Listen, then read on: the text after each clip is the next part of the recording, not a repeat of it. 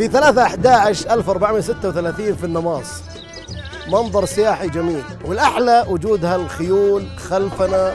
ناس بتهتم بالخيول في النماص. اللي بيجي سياحة للنماص بيستمتع بيتعلم فروسية بيشوف آه، مناظر حلوة. آه، أتمنى إن شاء الله من الجميع من سكان المملكة والخليج زيارة النماص والاستمتاع بهالأجواء.